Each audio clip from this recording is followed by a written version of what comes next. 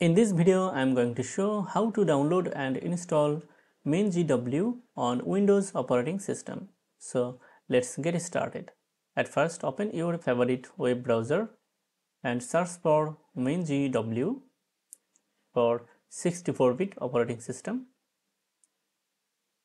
and browse the official website of MinGW.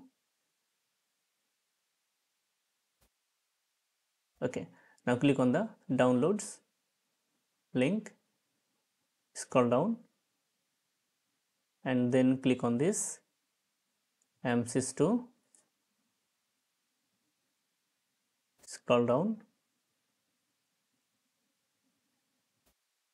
Now click here. Okay. At first download the installer click here to download. I already have downloaded it on my machine. So after a successful download go into the downloads folder and open this installer. Okay. Now click on the next button and select the desired location where you want to install MinGW.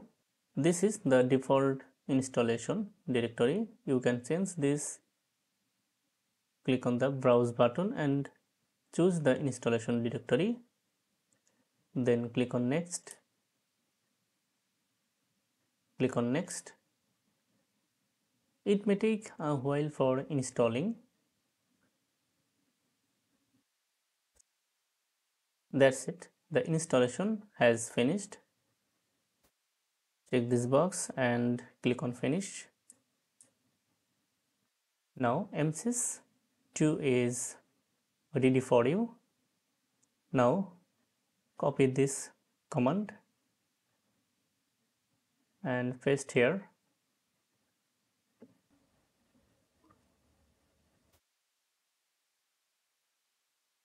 Hit enter. Now type y to continue installation it may take a while for downloading the necessary packages.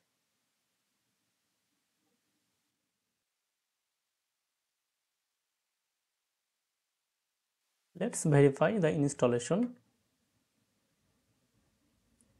Write this command gcc hyphen hyphen version hit enter that's it. Also you can verify it on command prompt. Gcc hyphen hyphen version.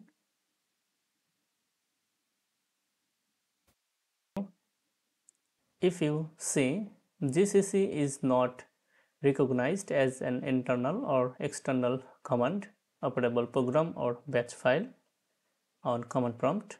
To solve this issue you need to set the path environment variable for MinGW. Go into the local disk C and then navigate to this folder and then navigate to this folder then bin subfolder okay now copy this path and open edit the system environment variables from control panel. Then click on environment variables. Now go into the system variable section to set the path for the all users of the system. Select path and then click on edit now click on new to add a new path. Paste here. And click on ok. Ok. Ok. Now exit command prompt and then reopen.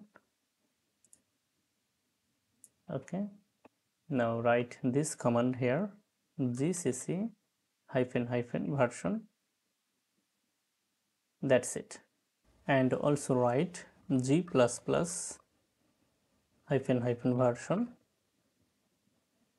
that's it C compiler and GNU C++ compiler installed successfully on Windows 11. In the next video, I will show how to compile a C or C++ program from command prompt. So, if you like this video, like, comment and share. Thank you so much for watching this video.